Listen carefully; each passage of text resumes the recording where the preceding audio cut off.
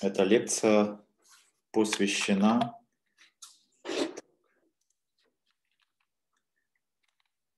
а, функциональным возможностям а, в расте.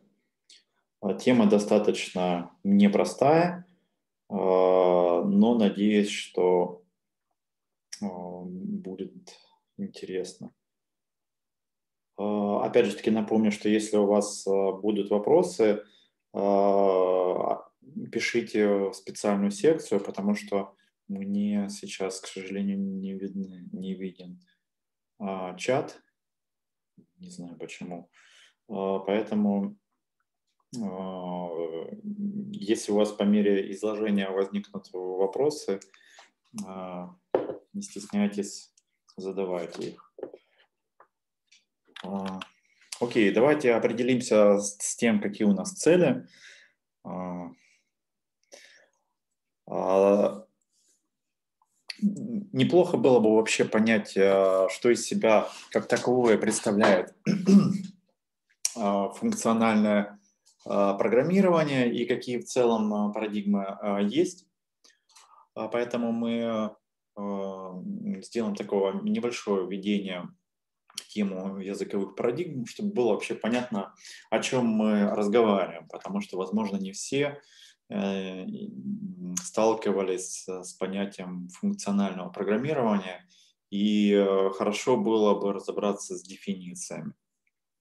А, разберемся а, с подходами функциональное, нефункциональное э, программирование именно в контексте раста. А, closures, они же замыкания, они же лямбда функции. Это как одна из составляющих Э, функционального программирования. И специфика э, Rust Function Traits э, как параметры типов также одна из наших целей будет. Также мы рассмотрим конкретные примеры применения closures, функции как переменные, Э, и итераторы, и такую небольшую тему, как э, э, для итераторов это потребители и генераторы. И предлагаю уже с этого и начать. Давайте вообще попробуем разобраться, а, какие в целом у нас а, парадигмы есть и что представлено непосредственно в самом расте. А, Раст в себя вобрал достаточно много парадигм программирования.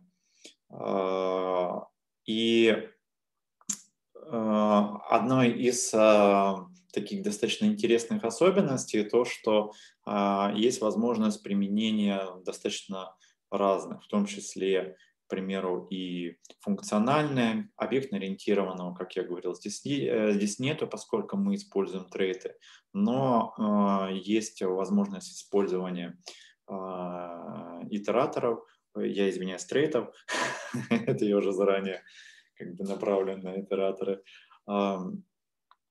и э, есть э, возможность использования строго типизированных подходов, и это одна из э, сильных э, возможностей раста, о которой я говорил. И непосредственно в расте вы можете э, использоваться таким традиционным подходом, как а, написания такого линейного достаточно кода без применения каких-то дополнительных абстракций, как это принято во многих языках, к примеру, в PHP вы можете достаточно легко писать э, спагетти код. А при желании, конечно, в Rust тоже можно этим заняться, но проблема заключается в том, что а код будет нечитаем. А, и э, ту задачу, которую берет на себя функциональный подход, он решает одну из э, таких задач, как представление кода в виде э, некой большей абстракции. И в этом смысле э, функциональное программирование, оно э, уже соотносится больше с математическими подходами и уже со, с математическими концепциями. Э, я хочу подчеркнуть, что Rust не является функциональным языком программирования. Это важный аспект, это нужно помнить. К функциональным языкам программирования относятся другие языки. И они бывают э, чисто функциональные и не чисто функциональные. Pure functional language и не pure functional language. А, я кратко просто обозначу, что это вообще значит, чтобы не было каких-то голословных утверждений. К примеру, э, к чисто функциональным языкам программирования относятся такие языки, как Haskell, Idris, Агда, к, также Клин, насколько я помню, да, это достаточно такой старый. А, вот, к примеру, к нечисто функциональным относится такой язык программирования, как F-Sharp а, из платформы .NET.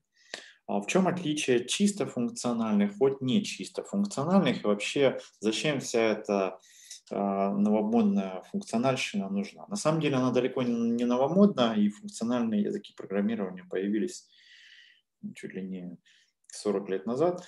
А, Haskell, насколько я помню, 80, если я не ошибаюсь, то ли 86 то ли 87 год.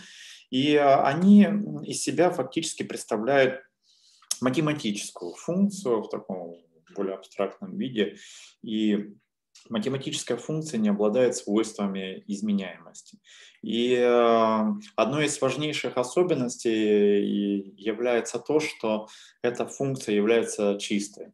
И это значит, что мы на уровне языка можем доказать то, что а, тот результат, который возвращает функция, он всегда один и тот же. То есть фактически мы уже оперируем математическими понятиями, и э, в данном случае тогда само функциональное программирование уже в большей степени относится к, к оперированию уже такими математическими абстракциями. То есть, к примеру, в Haskell это теория категорий, теория типов э, и так далее. В, э, и со временем стало очевидно, что э, у этого подхода есть свои преимущества. Но и есть и свои очевидные недостатки. Э, они связаны с тем, что, во-первых, порог вхождения достаточно высокий, а, и второе, это то, что на данный момент, к сожалению, трудно сказать, что эти языки программирования, невзирая на всю свою надежность и сильность типов, а, являются быстрыми. А, Rust является системным языком программирования, как вы помните. Это значит, что на нем можно писать программы любой сложности, и в том числе, к примеру, оперировать на уровне ядра или а, bare metal. Bare metal это подразумевается, что вообще для чистой железяки писать без операционной системы. А, и это одна из сильных черт Rust. А, и разработчики Rust, в частности Mozilla, они э, подошли достаточно интересны к этому вопросу, и они поняли, что некоторые элементы все-таки можно позаимствовать, потому что чисто функциональным Rust делать, э, с одной стороны, мне кажется, не очень рационально, а с другой стороны, э, это будет не столь востребовано а, самой комьюнити. Но, с другой стороны, можно внедрить некоторые элементы, которыми можно пользоваться и э, какие-то преимущества даст. Это даст нам преимущество того, что мы можем использовать некие уже проверенные временем абстракции, в том числе математические подходы, паттерны, которые, э, с одной стороны, работают, обладают определенной степенью надежности, и с другой стороны, позволяют э, программный продукт э, представить в виде некой абстракции, которая позволит нам а, оперировать уже на более высоком уровне, с одной стороны, а с другой стороны обладать свойством надежности через гарантирование а, путем к примеру, типи, строгая типизация, в том числе как дженерики и трейты, которые мы рассказывали. То есть это некая э, репрезентация в таком упрощенном виде теории категорий, ой, извиняюсь, теории типов, э, где мы уже на уровне типов можем доказывать э, корректность нашей программы. То, что э, чисто в функциональных языках программирования уже идет из коробки и мы можем оперировать достаточно сложными такими категориями из, а, из теории категории, как монады, морфизмы а, и так далее, то а, в расте есть только некоторые элементы.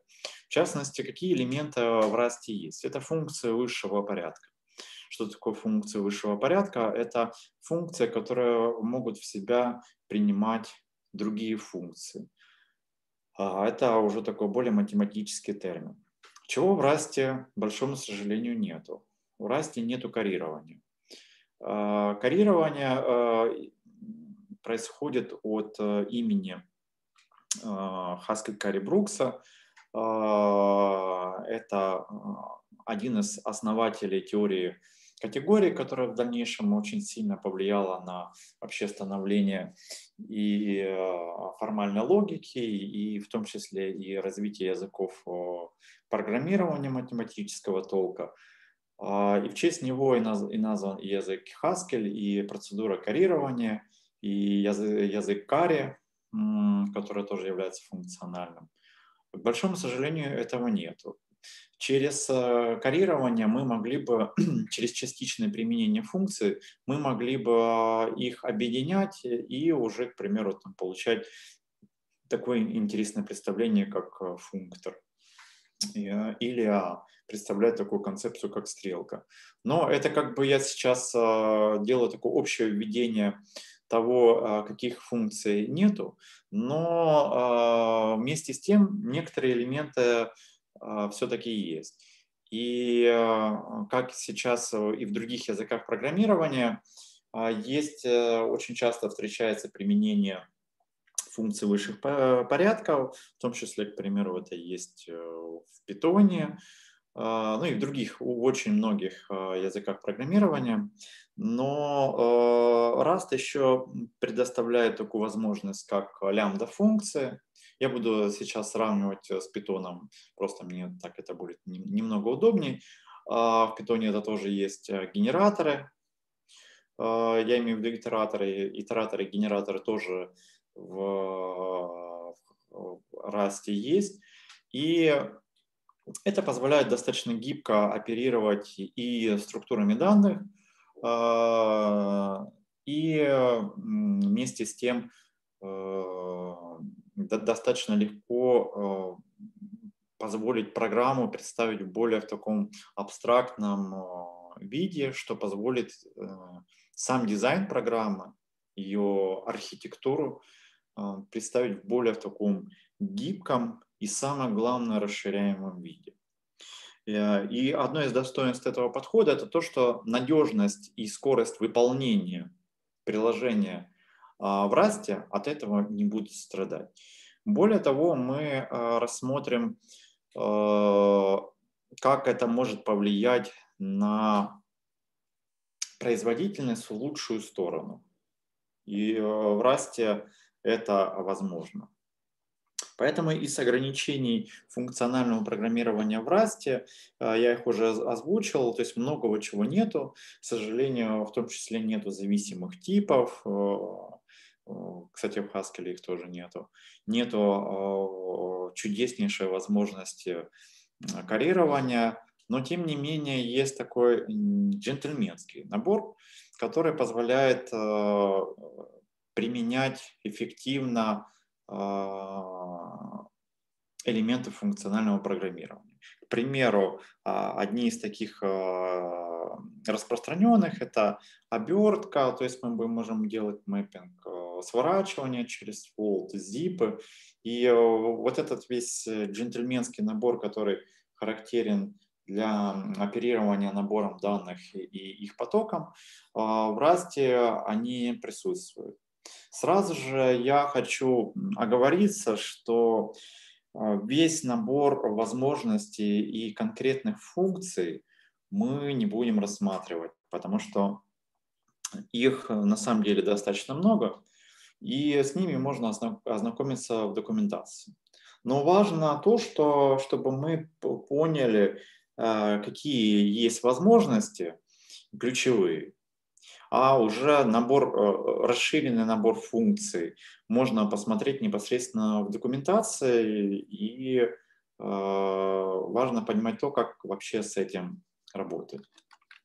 Поэтому мы двигаемся дальше. Давайте в контексте уже непосредственно самого раста попробуем разобраться в разнице между а, написанием кода функционального и нефункционального. Что значит функциональный в контексте а, самого раста и какие его возможности есть, я вкратце сейчас озвучу, но на самом деле я их уже озвучил. Это возможность применения функций как типов функций, то есть функций высших порядков, функции как а, типы для структур, фактически э, это тот же самый тип функций. А, мы сегодня тоже а, рассмотрим. Это э, closures, они же лямбда функции, если так корректно говорить. И, и лямбда функции, анонимные функции, это все они. И итераторы. А, итак, что нам фактически предоставляет э, по сравнению с нефункциональным подходом написание э, в виде такого функционального? И я на примере это все буду показывать. А, это то, что сам код мы можем писать более лаконично. То есть, представляя его в достаточно таком абстрактном виде, мы можем а, записать, с одной стороны, более компактно, с другой стороны, э, лаконично, и с третьей стороны, это может э, быть эффективно с точки зрения а, производительности. Не всегда, конечно, но иногда. А, тут просто нужно исходить из а, рациональности. Также э, реализация математических абстракций, как я уже об этом говорил. В чем преимущество? В том, что мы можем сделать достаточно гибкий дизайн нашего приложения. На примере э, трейтов, которые мы рассматривали в прошлый раз, мы увидели, что мы тем самым можем оперировать э, множеством, под множеством и накладывать определенные ограничения на множество через э, трейты. А, это все также является частью и функционального программирования, поскольку а, здесь уже наша концепция расширяется, поскольку множество в данном случае уже может быть представлено через функции. Это достаточно такая удивительная штука, когда наше множество а, не набор типов, которые являются а, простыми типами, ну я буду их называть так, или комплексными, а типы, которые являются в некотором смысле исполнимыми. И в этом а, контексте мы можем говорить о неком таком функциональном множестве. А, и если вы помните, то в математике вот эта вот функция определяется как f от x, где f маленькая от x. А вот набор и множество функций определяются через большое f от x. И э, если вспомнить, к примеру, некоторые элементы методов оптимизации, то там, к примеру, над этим множеством можно оперировать э, с помощью там, интегралов и так далее. А в расте над этим множеством можно оперировать через трейты и через итераторы. То есть фактически а, делая а, над ними ну, те же самые а, функции и набор методов, которые доступны над обычными типами. И это достаточно такая мощная штука, когда у нас generic type в том числе может быть и функцией, то есть множеством функций. И один из таких э, последних пунктов, которые я здесь обозначаю, я опять же таки повторюсь, это гибкость в дизайне комплексных приложения. То есть если мы а, создаем достаточно крупные приложения, иногда может оказаться, что этот подход э, очень сильно сэкономит нам с точки зрения такого элегантного представления дизайна программы. Под дизайном в данном случае я понимаю ее внутренние структуры, а, то, каким, то, какие методы и паттерны мы используем, и как в целом в абстрактном таком виде наша программа выглядит. Я специально повторюсь, прошлое, на прошлой лекции я об этом говорил, почему это важно. Это важно особенно в тех случаях, когда вы работаете в команде, и над кодом работает достаточно много людей. В особенности, если это какая-то публичная uh, library, crates. Uh, и это значит, что чем более гибкие, гибкие подходы вы заложите непосредственно в вашу библиотеку, тем uh, более широкая сфера применений для этого функционала окажется. Поэтому достаточно высокая степень абстракции, она в этом смысле полезна. Но опять же таки нужно всегда соблюдать здравый баланс между абстракцией и э, конкретной сферой применения, потому что если этим очень сильно увлекаться, к примеру, теми же самыми элементами функционального программирования, generic type, трейты, программа может быть э, постепенно становиться нечитабельной и очень сильно перегруженной такого рода информацией. А, и это значит, что а, я вам очень рекомендую вот э, соблюдать такой баланс для когнитивного восприятия, как бы понимая то, что ваш код будут читать другие люди, и э, что если вы сильно перегружаете программу какими-то абстракциями, то она может быть сложна не только для восприятия, но и для дальнейшего поддержания. Поэтому а, здравый смысл всегда должен а, возобладать над желанием а, очень красиво представить все. Давайте перейдем уже в такое более концептуальное поле. Что из себя представляют лямбда-функции? В расте они называются closures или замыкания, а, они представляют собой достаточно простую структуру. Фактически это самые обычные анонимные функции. А, они есть во многих языках программирования, и в Rust они объявляются через а, две черты, вот такие, как вы видите. И что это значит? Это значит, что вот наши переменные closure, closure one, мы э, присваиваем функцию фактически анонимную. Анонимную это значит, что она не именована, э, которая э, в себя не принимает ни одного элемента, видите, у нас здесь это пустое, и возвращает э, некое число. Как вы видите, Rust в данном случае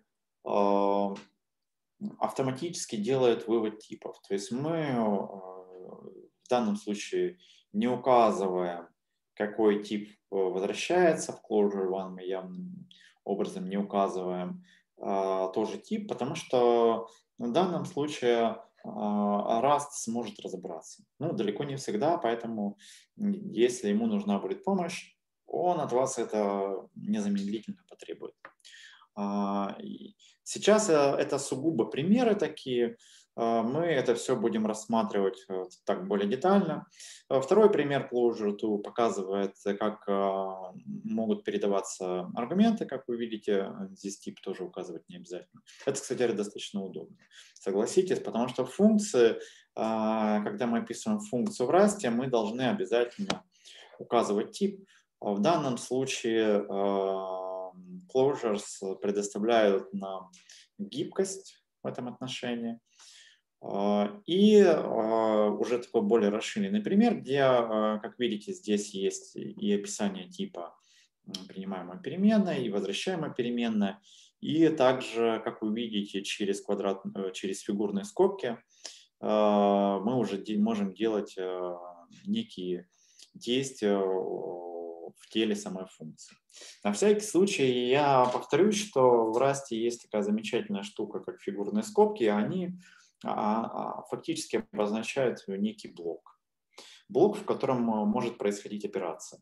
И это значит, что в самом этом блоке происходит изоляция тех действий, которые происходят. И, соответственно, в блок могут извне переменные передаваться, то есть такой происходит ownership в этот блок.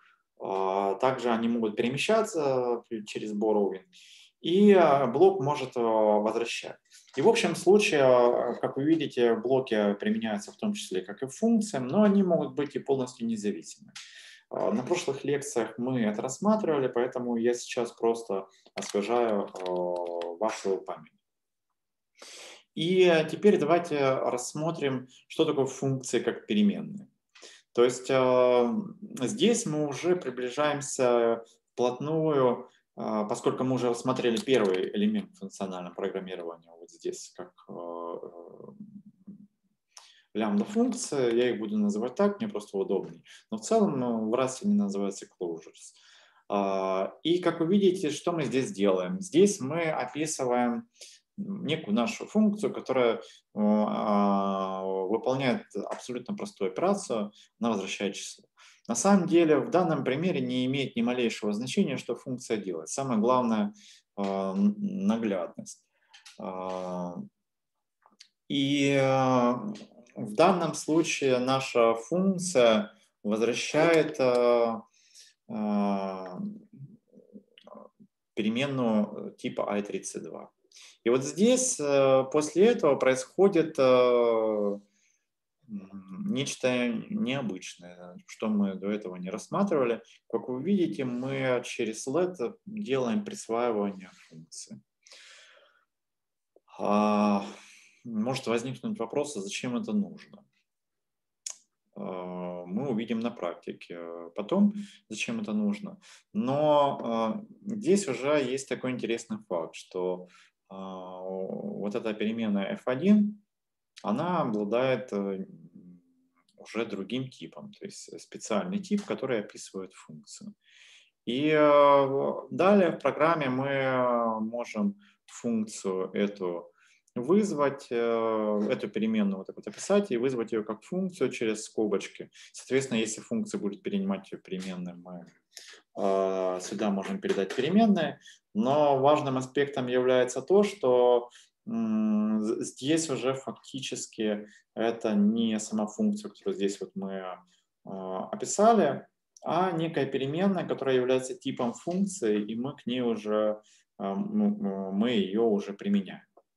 На самом деле вот этот элемент через присваивание переменной, это и в том числе closures, это а, первый шаг к функциям высшего порядка. И теперь мы последовательно идем к тому, как мы можем описать тот же самый функционал, который, вот вы видите, здесь есть, через uh, closures. Uh, как нетрудно увидеть, uh, замыкания, они упрощают написание, как, как я говорил до этого, это лаконичность, а, потому что, как вы видите, в отличие от этого примера, мне а, я это записываю более в таком наглядном виде, здесь мне нужно возвращать а, переменную типа явно указывать, здесь же Rust может самостоятельно понять, что это такое, и в целом наша программа выглядит более опрятно, аккуратно, я бы даже сказал нарядно.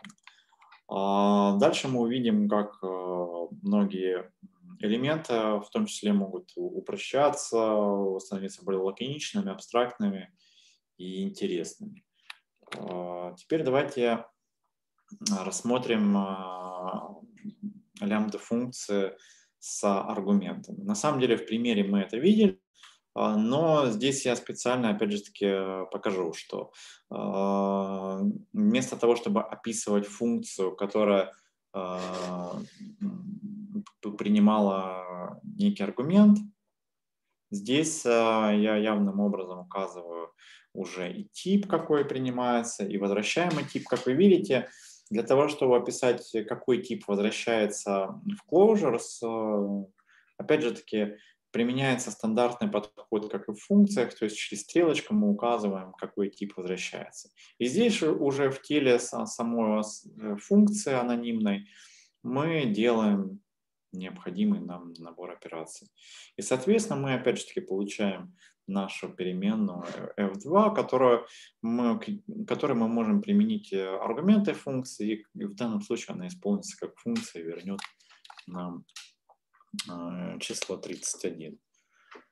А, и теперь мы вплотную подошли к теме э, того, э, какие существуют функциональные типы. Функциональные типы описаны в расте через трейты. Трейты мы рассматривали в прошлый раз. И, как вы помните, а, мы можем трейты передавать как аргументы функции, трейты могут применяться к дженерикам. Э, и а, этот концепт уже фактически характеризует что? Что а, тот, то оперирование над множеством, о котором мы говорили, будет ограничиваться трейтами. А, на всякий случай я повторюсь, что трейты в расте в некотором своем ограниченном виде являются аналогом интерфейсов в других языках а, или классов а, да, интерфейсов, класс, и применение их это классы типов и так далее. Но суть заключается в том, что через function traits мы можем описать а, разный набор функций, которые могут быть. А, и а, один из таких важных нюансов заключается в том, что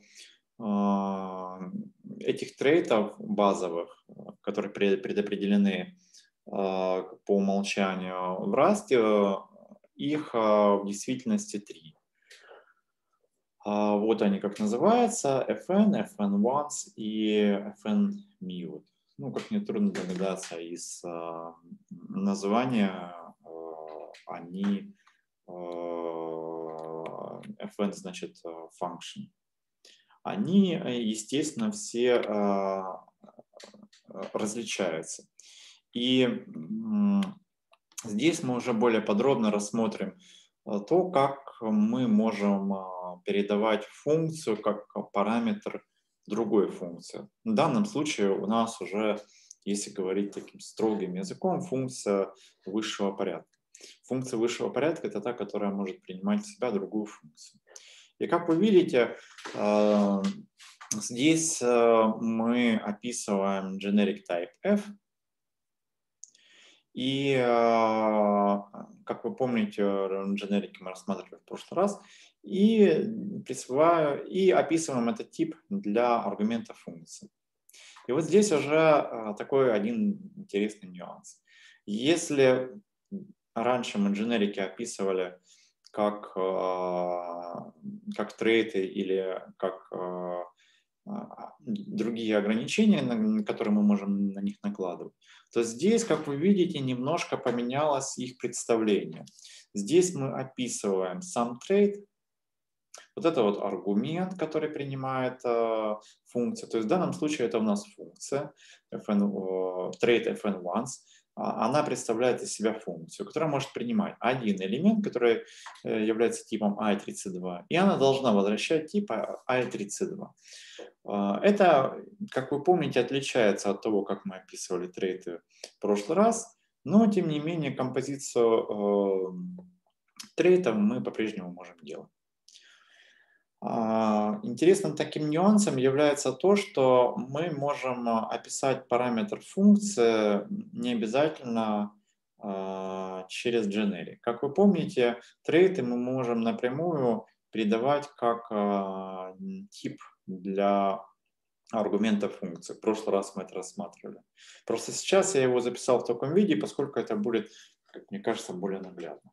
Но не забывайте, что если вам необходимо просто вернуть вот такую конструкцию, которая принимает в себя другую функцию, то это можно описать вот здесь вот как аргумент функции. Как это делается, мы рассматривали на прошлой лекции.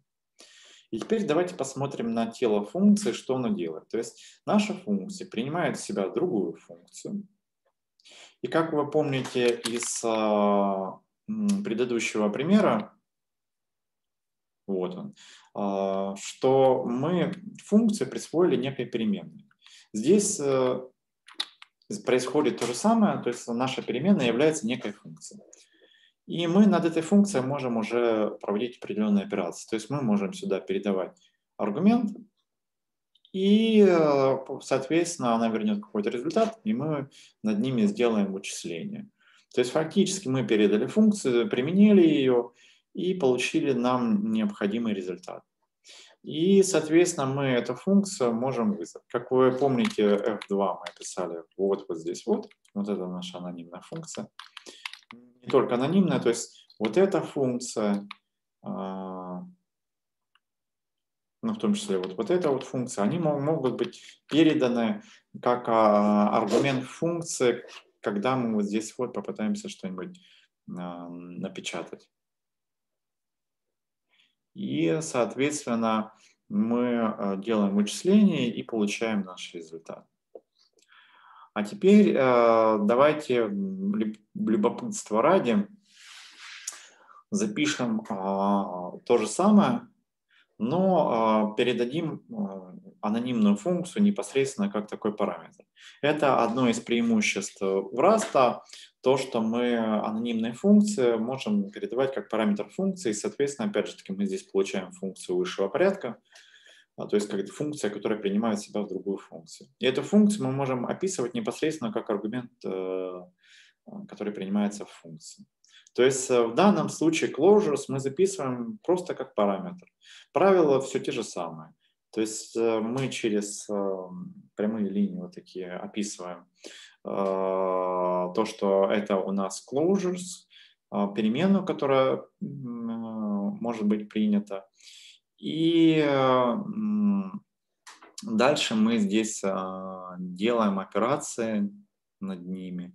То есть это уже совсем другая функция. И как вы видите, естественно, а, результат выполнения у нас а, поменялся.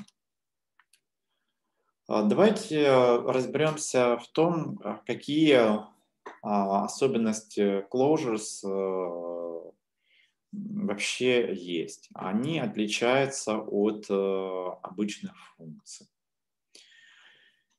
А, и одной из такой интереснейших э, возможностей заключается в том, что у нас есть доступ э, к переменным окружениям. Ну, фактически, что здесь подразумевается под переменными окружениями, это доступ к переменным, которые находятся в текущем блоке, а, где описывается э, лямбда-функция. То есть весь набор функций для, скажем так, для базовой а, нормальная функция, которая описан, мы можем получить доступ к переменным. Насколько вы помните, в функциях, в обычных функциях такой возможности нет. То есть у нас нет возможности получить доступ к такого рода а, переменным. И вот здесь я приведу пример, я немножко отвлекусь от вот этого повествования, и здесь я уже приведу пример, как происходит а, а, передача владения в данном случае для а, анонимной функции. То есть, как вы видите, здесь мы описываем перемену, которая является э, вектором. И в данном случае мы описываем closure, и переменная, которая здесь происходит обращение, x, она описана за пределами этой анонимной функции. То есть, когда я говорю переменное окружение, это подразумевает только это, это понимание. То есть, у нас есть некий блок, в котором происходит операция. Как я говорил, это описание происходит через фигурные скобки. И в пределах этого скопа мы можем получить доступ к этим переменным. Здесь есть свои нюансы, что происходит, а, но чтобы вы понимали, что мы можем получить к ним доступ.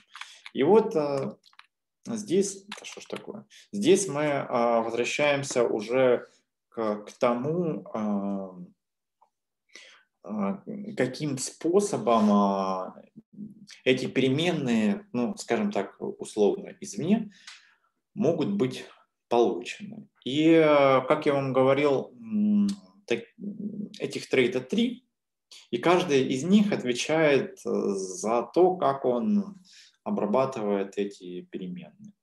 И, соответственно, первый тип – это ownership, это передача владения, то есть это FN once, то есть как минимум единожды может быть вызвано. И как вы видите, трейд, который описывает данный подход, называется FN once. Второе – это borrowing mutability. Ну, для начала immutability, он описывается через function, то есть заимствование без возможности изменения. То есть он описывается через trade function. Как вы помните, когда мы делаем заимствование, соответственно, мы уже, к примеру, вот это вот переменной, вот если возвращаться сюда, если бы мы делали заимствование, то мы уже в дальнейшем не могли бы вызвать вот здесь его. его. Почему? Потому что а, при borrowing а, заимствование происходит в данной функции.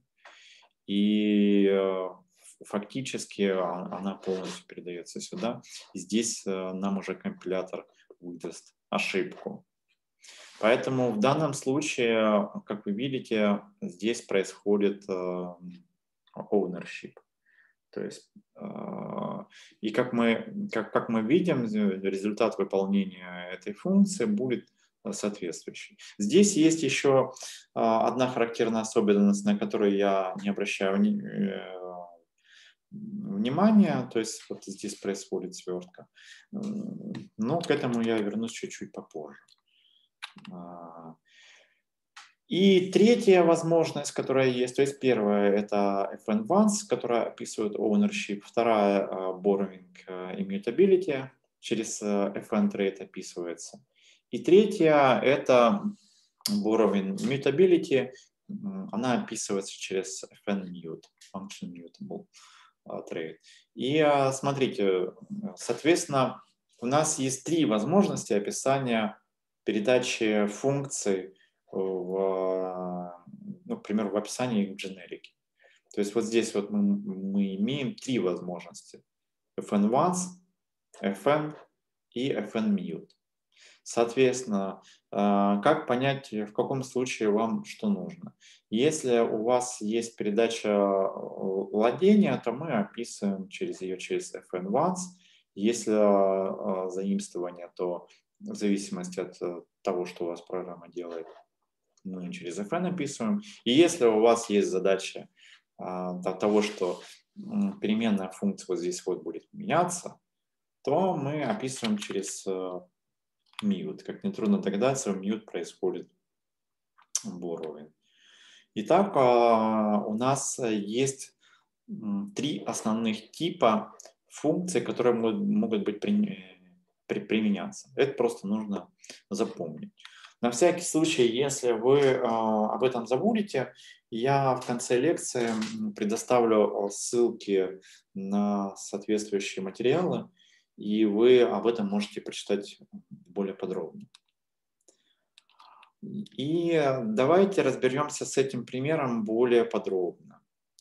А, почему этот пример э, еще нагляден? Тем, что, первое, мы здесь э, применяем переменную, которая хранится а, в heap, то есть в куче, потому что для нее по умолчанию не применяется trade copy, то есть не происходит копирование. Соответственно, происходит передача владения.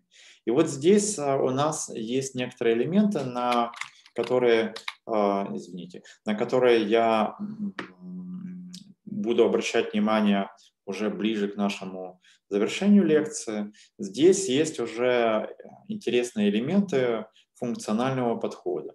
То есть первое, первый такой базовый элемент – это то, что мы саму функцию записываем как closure, то есть как лямбда-функцию. Вот, в целом. Второе – это то, что мы э, эту функцию можем передавать э, как параметр функции для другой функции, то есть это функция высших порядков. И третье – мы можем оперировать потоком данных. Для того, чтобы сгенерировать поток данных, э, применяются итераторы они описывают через, через их там. Что это такое, я более подробно расскажу чуть-чуть позже. И э, также уже, знаете, как такая затравка, вот здесь у нас э, происходит, э, соответственно, фолд, как вы помните, он бывает левого и правого типа. Здесь он, сейчас э, какого? Типа, по-моему, левого, да? А, левого типа, да, то есть а, слева передается переменная. А, если я здесь ошибся какого типа, вы уже мне извините. Но обычно они бывают fold R и fold L.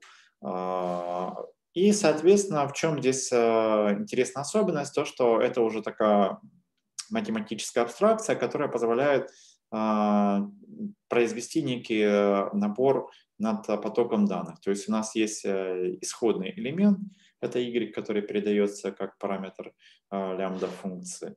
И здесь уже у нас, как вы видите, в ней описывается вспомогательная функция, которая делает операции над тем потоком данных, который здесь происходит.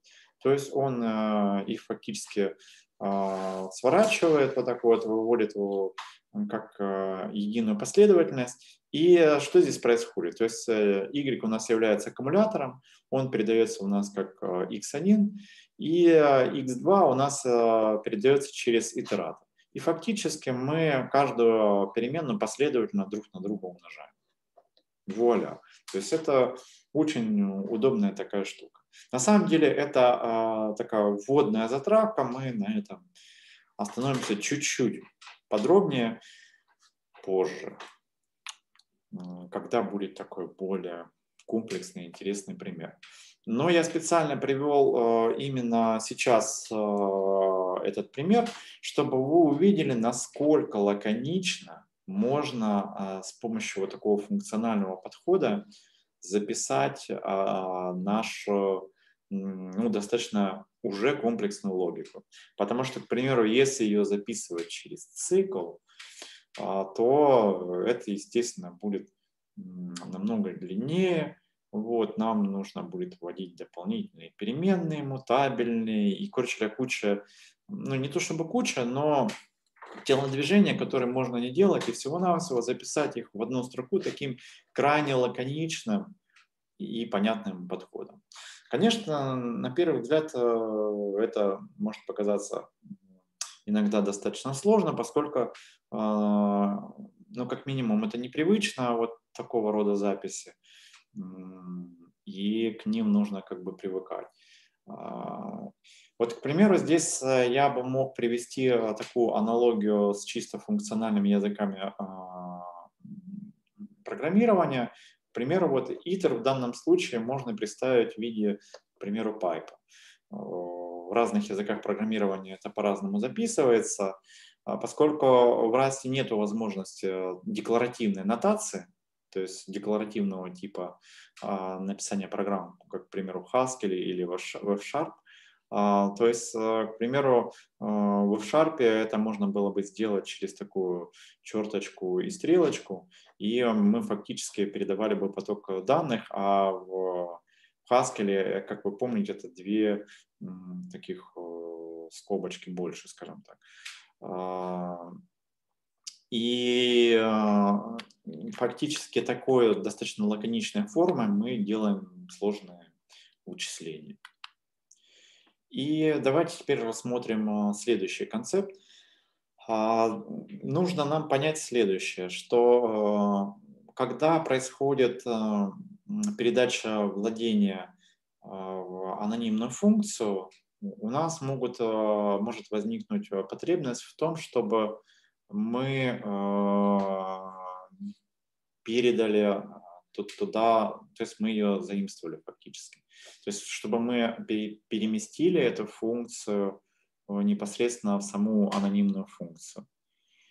И а, нашу предыдущую функцию, которая вот описана вот здесь вот, мы а, описываем уже другим способом. Есть ключевое слово move. Э, что оно значит? Ее смысл очень простой. Это значит, что те переменные, которые мы берем извне, то есть в данном случае это переменная x, как вы видите вот здесь вот.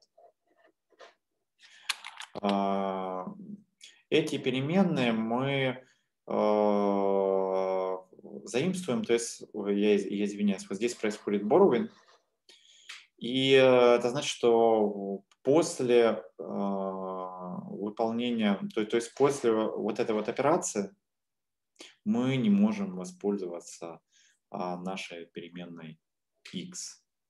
Это очень важно, в особенности при а, программирования, связанном с, с, с параллелизмом, с, с конкурентными процессами, а, этот концепт очень часто применяется.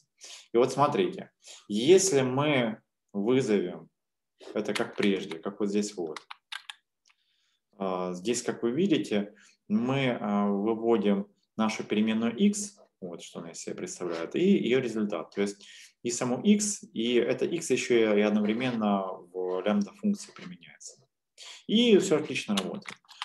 То когда мы делаем перемещение, вот здесь вот, то мы уже эту запись не можем применить, потому что э, компилятор будет ругаться, что э, здесь происходит, э, вот здесь вот, происходит borrowing, соответственно, мы не можем опять обратиться к, к этой переменной. А, на самом деле об этом не стоит волноваться. Компилятор, наш надежный друг, всегда вам заботливо подскажет. Боровинг – это достаточно сложная концепция в расте, и иногда вам придется с ним побороться. А, поскольку он а, достаточно интересный, в особенности в совокупности с лайфтаймами. А, и в таких сложных, сложных функциях и в сложной логике он вам может очень много попортить нервов. Вот поверьте на слово. Поэтому просто-напросто с ним нужно набить руку. Потому что вот такая запись, вот, э, она значит, что нам с нашим дизайном приложения нужно уже что-то делать, чтобы мы могли э, записать э, вот эту вот функцию. И как вы видите, поскольку мы не можем вызвать уже для принта наш x, мы просто-напросто вызываем а, z. Так, но результат, э, естественно, здесь э, вот этого не будет, поскольку, как вы видите, здесь result только у нас одноприменный. Это я просто с предыдущего скопировал. Но на самом деле результат будет, э, что ж такое, результат будет точно таким же, как и здесь. То есть имеется в виду, что 18 тысяч листает, конечно, тормознуто, а, будет точно таким же. А, mutable, а, а, разница, ну, FN mutable на самом деле здесь не применяется. Но важно, важной особенностью является следующее, что FN once, то есть ownership, для closure фактически по умолчанию. Поскольку, вот, опять же таки, я возвращусь к этому примеру, здесь, как вы видите, мы ничего конкретно не описываем в явном виде, но это значит, что а, фактически а,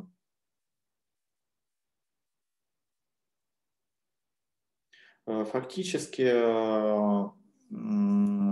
здесь происходит автоматически FN once. И еще одной из, из таких важных особенностей является то, что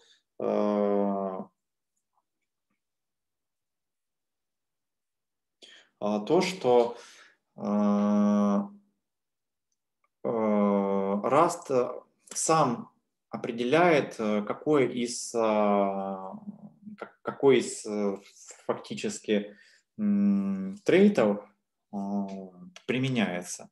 То есть это не значит, что автоматически это происходит, но опять же таки по умолчанию это FN1.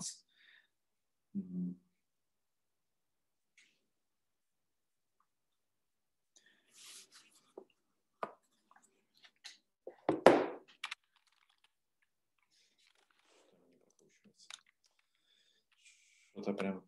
Вот. А, теперь давайте рассмотрим а, следующий а, концепт, функцию как тип. Я вначале вам говорил о том, что мы можем применять э, эти трейты к, к нашим generic типам. Ну, фактически это мы рассматривали на прошлой лекции, но здесь мы уже рассмотрим, как это применить уже конкретные структуре функции.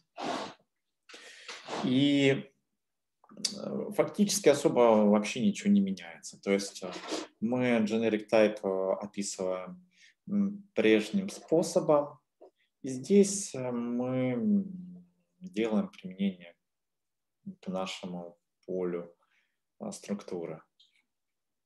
И дальше вот смотрите, мы до этого описали нашу функцию и присвоили ее переменной f2.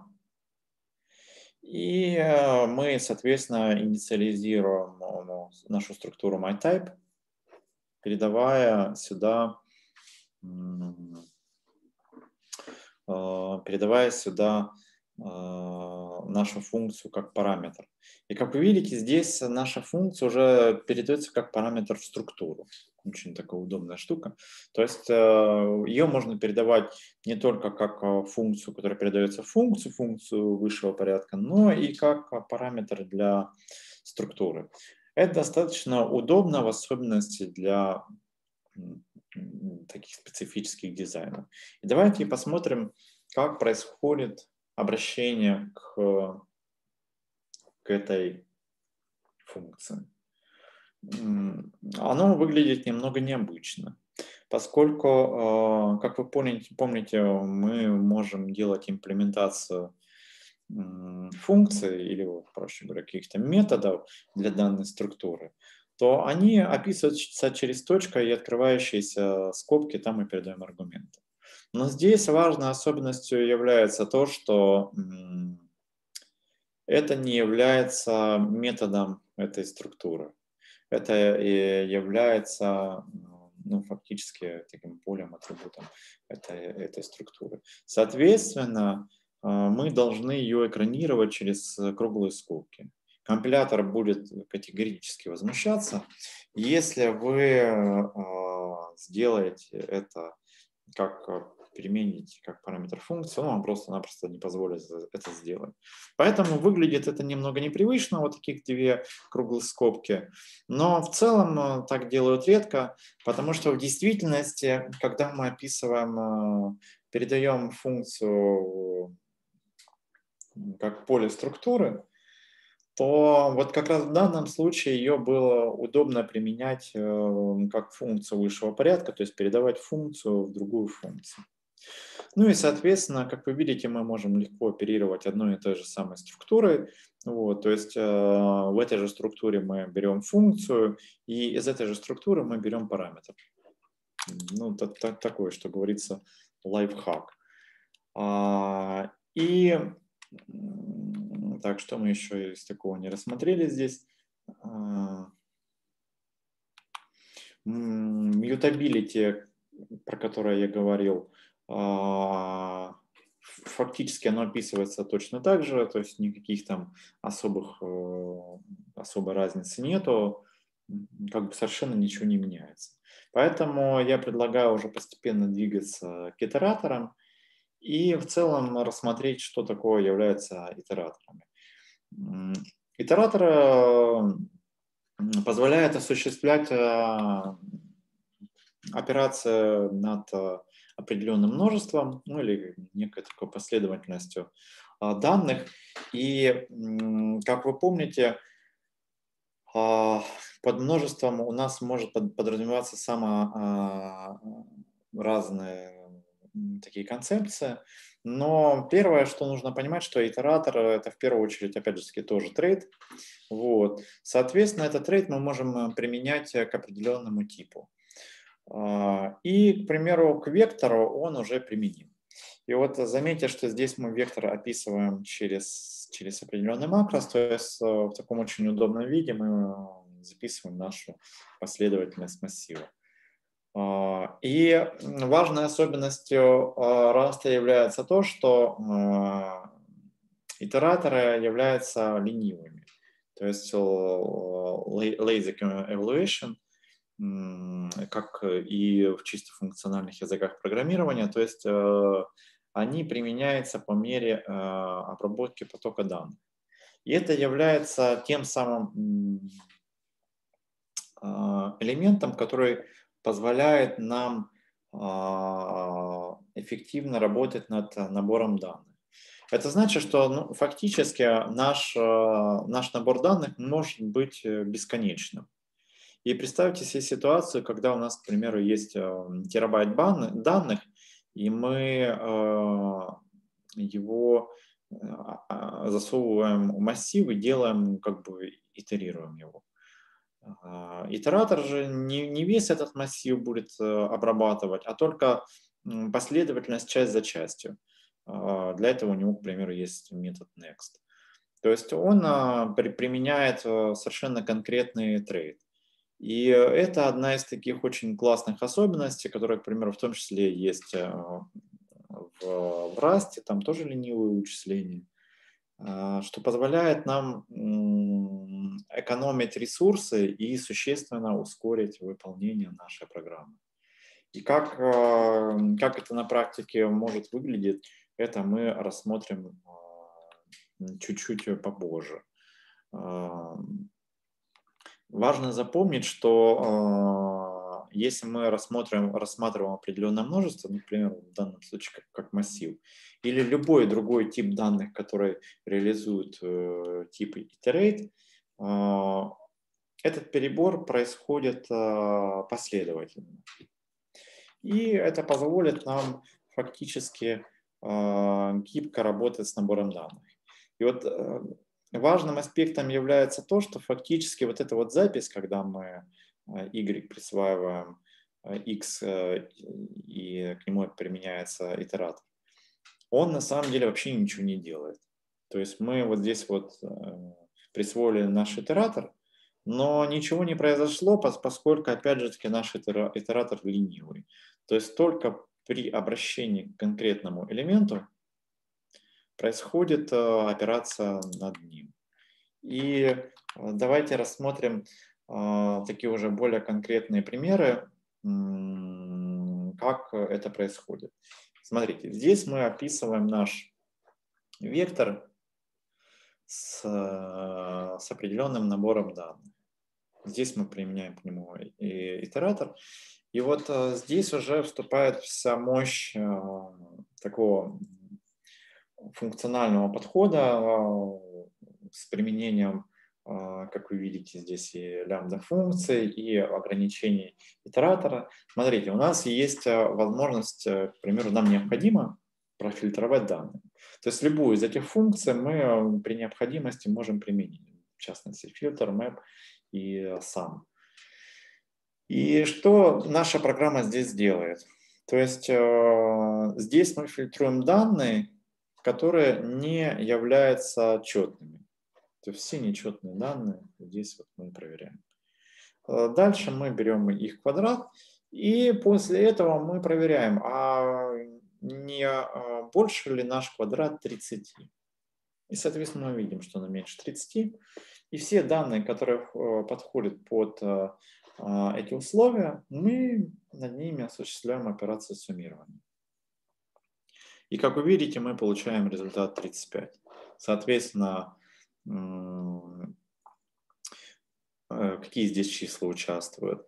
Здесь числа участвуют 5, это 25, плюс 3 в квадрате это 9, и плюс 1, соответственно, это 10 плюс 25, 35.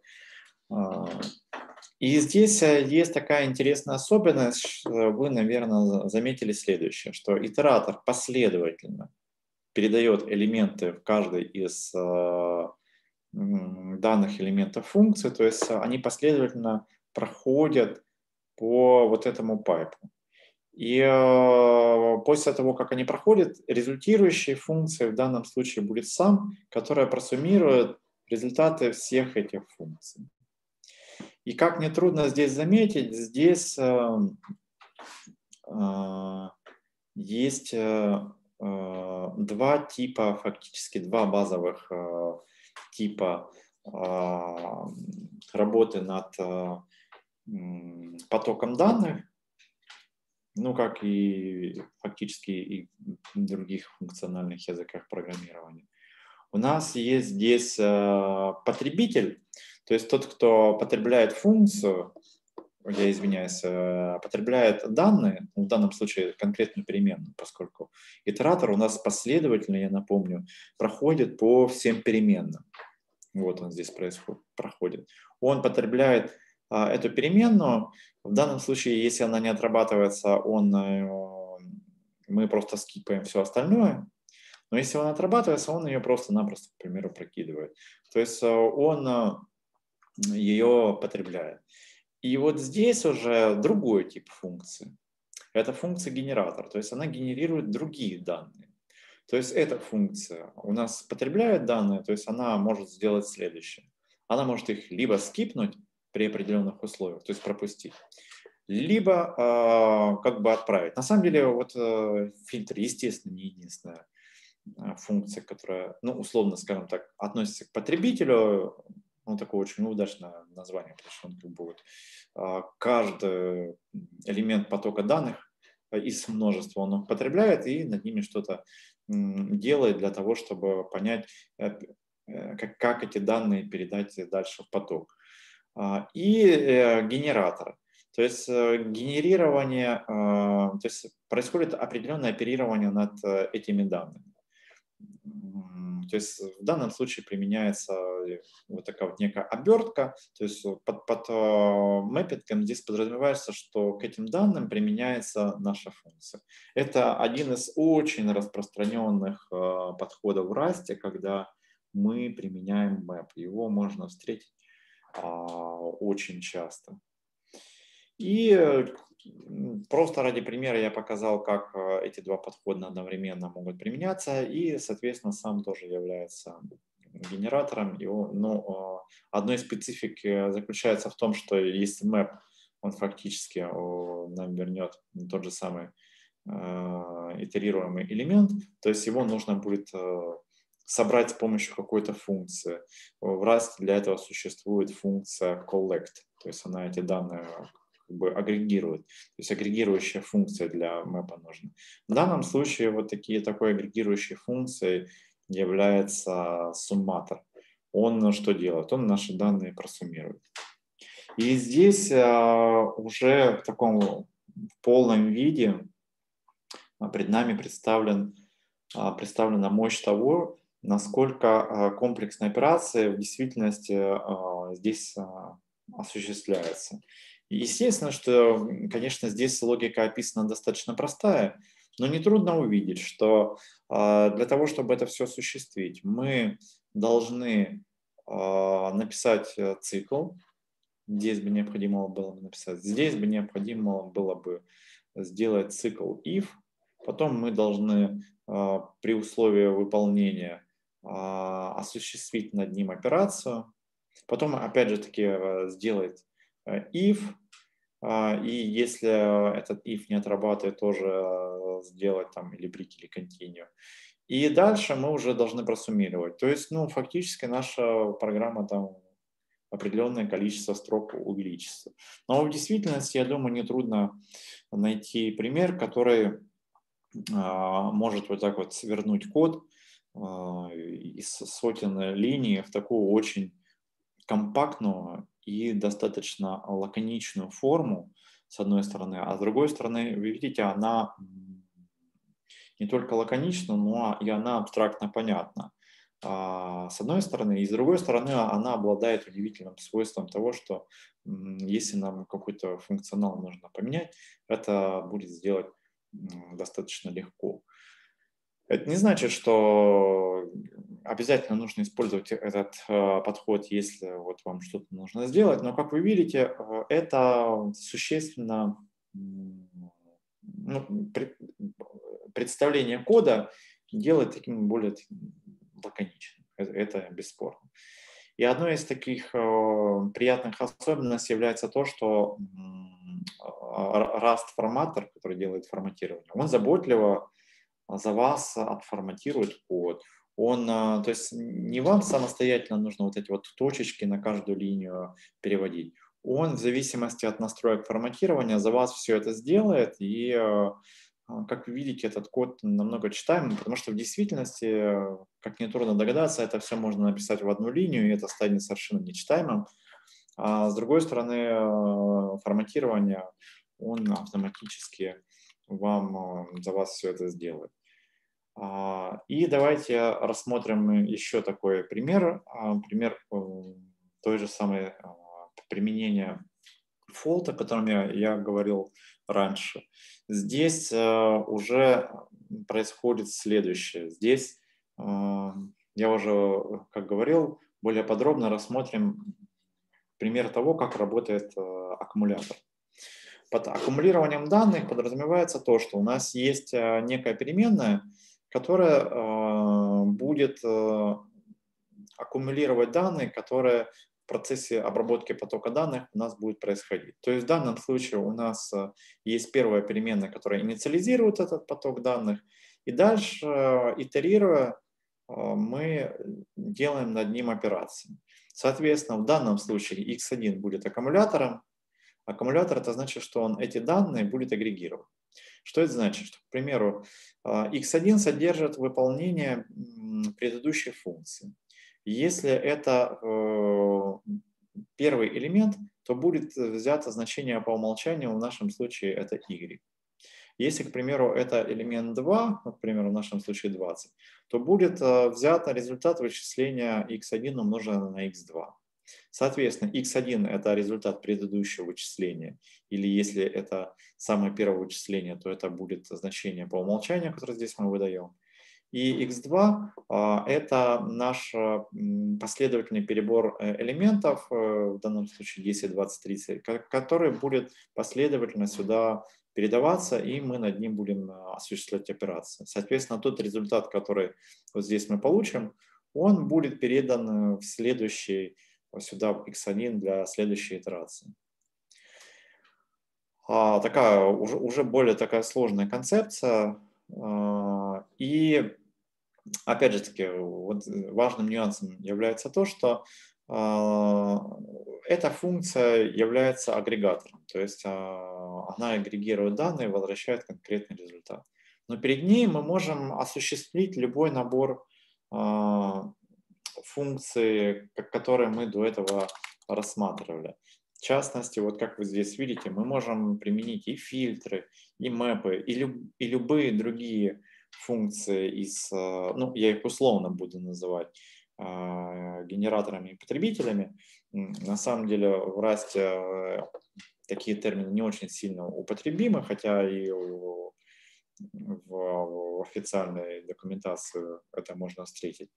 А, но в целом эм, таких функций существует достаточно много. Я их все приводить не буду, вы с ними можете ознакомиться в документации. А, самое главное понять общий принцип, что мы можем применять функции, которые этот а, поток каким-то образом э, его контролируют. Второе, его изменяют через генерирование. И третье, э, агрегируют. Здесь мы всего-навсего агрегируем, но уже такой достаточно сложная функция, как э, fold. вы видите различия на лицо. И э, опять же таки давайте немного э, пройдемся по уже такому суммирующему концепту того, что относится к потребителям и генераторам. Ну, в частности, как мы ранее говорили, map является а, генератором, fold является агрегатором, collect является тоже агрегатором, фильтр является потребителем. А, просто запомните то, что фактически у нас есть определенный набор абстракций, которые позволяют а, оперировать потоком данных, которые у нас есть. То есть в результате мы имеем следующее. Мы имеем, суммируя следующее. У нас есть э, функции, которые мы можем передавать э, как функции других функций, то есть функции высших подряд, порядков. У нас есть функции, которые могут э, выступать в качестве типов, представленные через трейты, и мы их можем передавать как в generic type, так и, и как generic type для описания наших структур, любых структур. И третье – это то, что у нас есть итераторы – которые позволяют нам а, фактически представить наши данные как некий такой пайп и над ним а, осуществлять а, какие-то манипуляции, о которых я говорил раньше. И давайте уже остановимся, остановимся под конец а, над тем, какие у нас есть материалы по теме. А, фактически это стандартная документация. Вот э, здесь ссылочки, которые указывают, как это описывается в, растбуке. Это общая вводная статья. И также вы можете обратиться к описанию трейтов, э, таких как FN, FN Mute, FN Once, и а, описание трейтов э, итераторов. Итераторы бывают тоже разных типов, э, в частности, они бывают а, еще и мутабельные, а, но на этом я как бы специально останавливаться не буду. Что подразумевается под мутабельными? Это значит, что вот этот набор данных мы можем менять.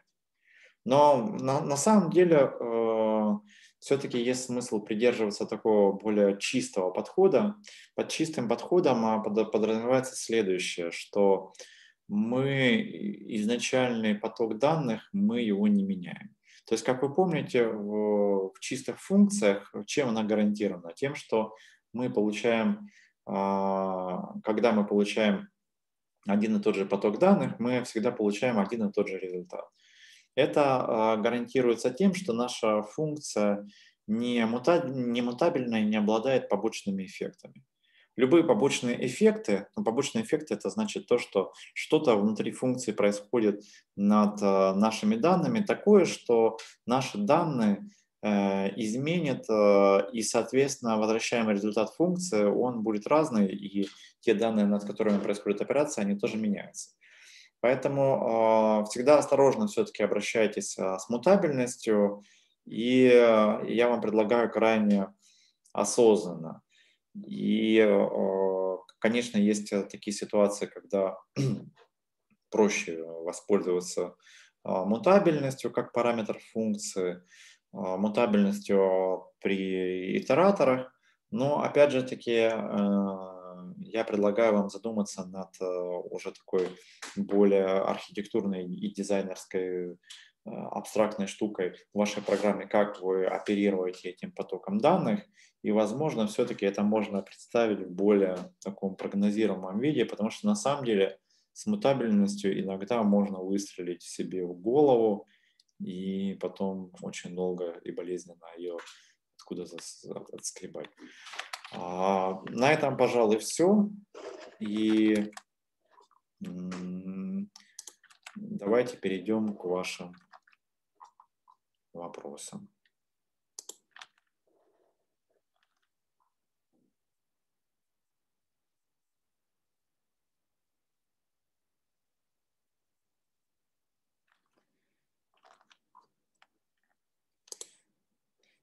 Так, ну, отвечены уже есть, так, новые.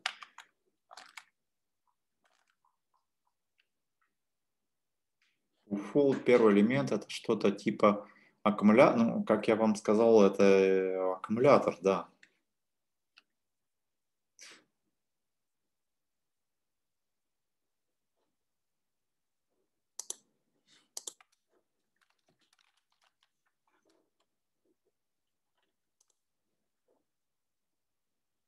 Можно ли closure сделать константой?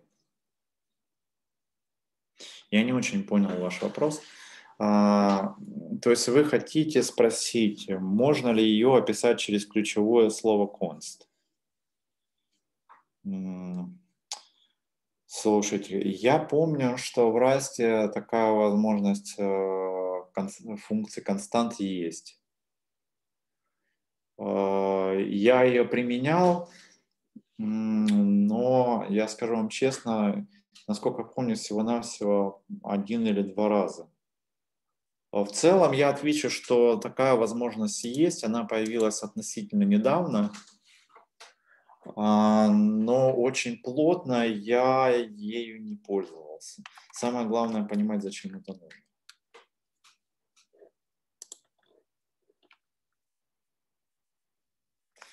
Фильтр не мутабельный, но имеет же поток. Он относится к немутабельным.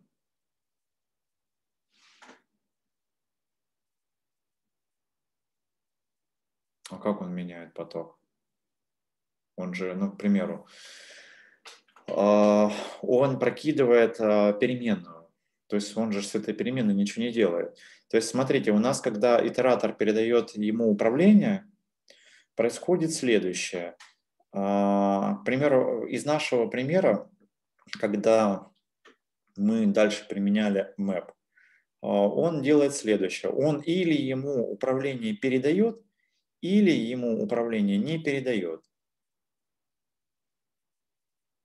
Поэтому почему он э, мутабельный, я не очень понимаю.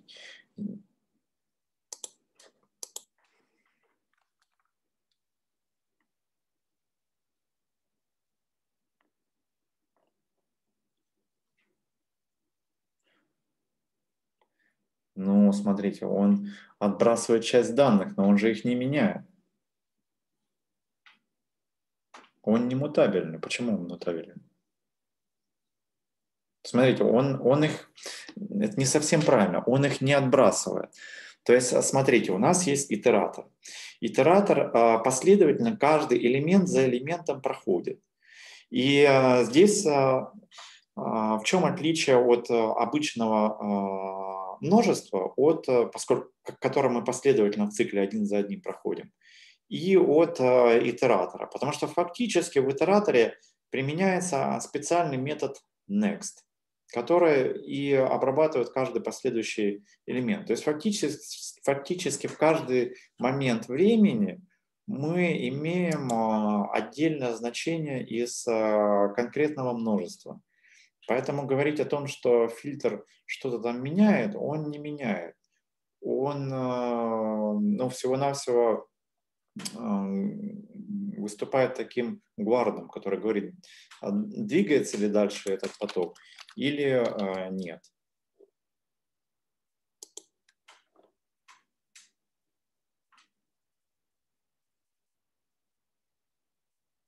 А, окей.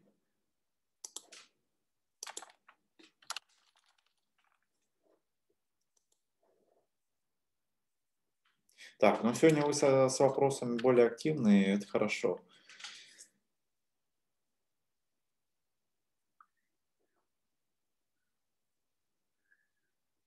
Так, имеет ли смысл э, в юнит-тестах функциональных языках программирования? Кирилл ответил, что да, я с ним полностью а, согласен, потому что, смотрите, дело в том, что кроме чисто таких математических абстракций, есть еще и бизнес-логика. Бизнес-логику нужно тестировать, потому что мы люди. А почему для Z4 результат э, равен как Z3 предыдущего примера 18 тысяч?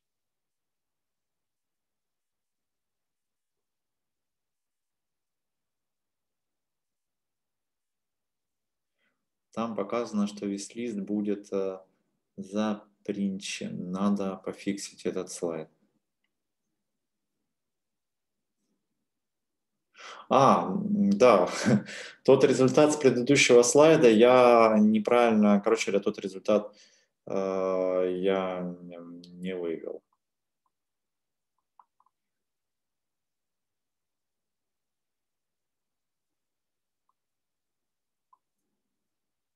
Так что извиняюсь.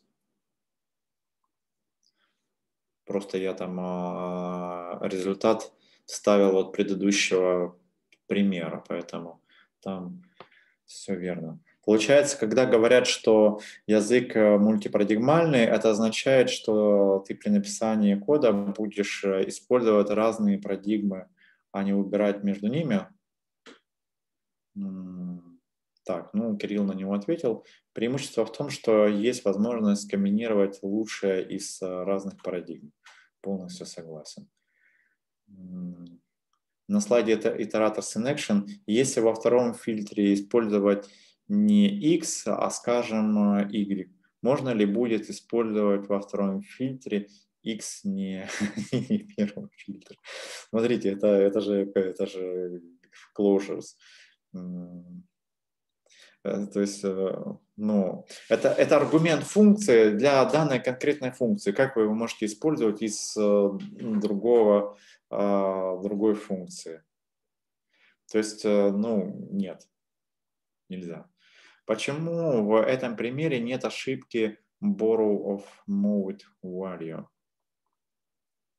О, Господи, Максим. А во втором есть. Разница лишь э, центы.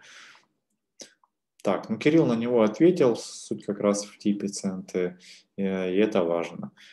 А, так, дальше идем. То есть здесь, а, как я понимаю, разница между а, реализацией копии и клон. У fold первый элемент это... Ага, так, это мы уже ответили. Окей, двигаемся дальше. Так, еще один вопрос. Что спрашиваете на собеседовании... А, что... Тут ошибка, Антон Романков. Не спрашиваете, а спрашиваете на собеседовании на позиции раст разработчика. Про FP есть вопросы? Слушайте, ну это хороший вопрос. Я его лайкну. А, смотрите, здесь а, важный вопрос, кто спрашивает. А, потому что разные компании под совершенно разные задачи и требования набирают, соответственно, программистов. И э, здесь важны нюансы. К примеру, вот э, в Unier они очень большой акцент делают на алгоритмы, ну, к примеру, как и в Google. То есть э, у вас там, к примеру, пятиэтапное собеседование, и на одном из них, поскольку, как вы знаете, там товарищи такие серьезные, они олимпиадники все, а, и им будет интересно, как вы будете справляться с такими алгоритмическими задачками. Иногда они такие на знание алгоритмов и смекалку, и вообще умение как бы размышлять. А, но смотрите, э, есть собеседования, на которых вас э, все-таки спросят, э, нужно это, не нужно, в каком контексте. Поэтому все-таки есть смысл эти концепции знать, как минимум.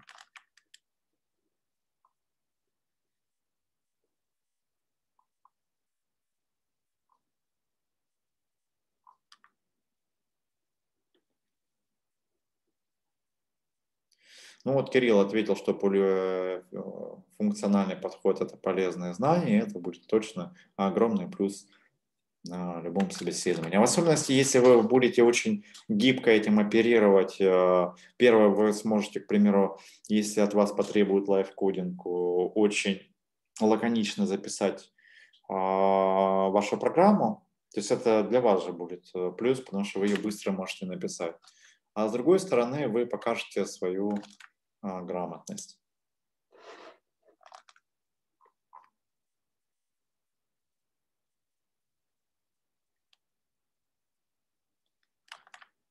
Так, задавайте еще вопросы. Так, четверг тестинг и юнит тестирования, да?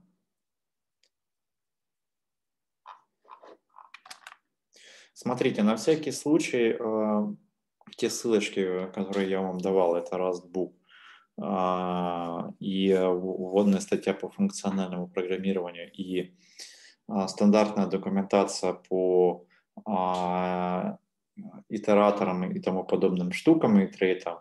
Э, вы их, если вам вообще эта тема интересна, вы их почитаете, потому что однозначно будет полезно.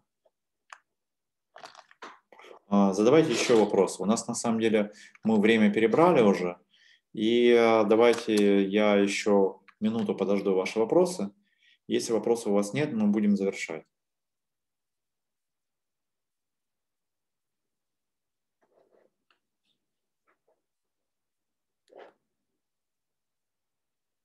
В целом, я надеюсь, что материал был для вас первое понятен, второе полезен и вы э, сможете а, его применять на практике в боевых условиях.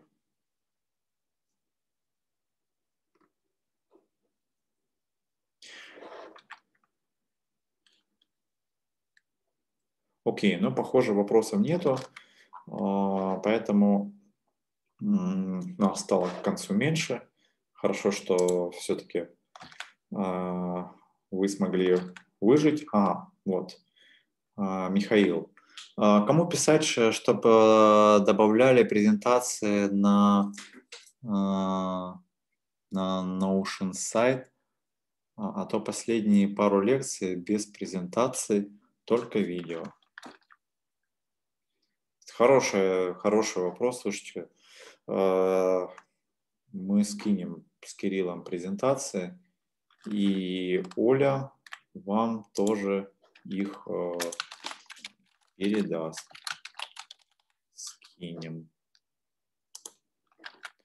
Окей, тогда на этом я предлагаю завершать. Э, хорошей и продуктивной вам недели. Всего доброго.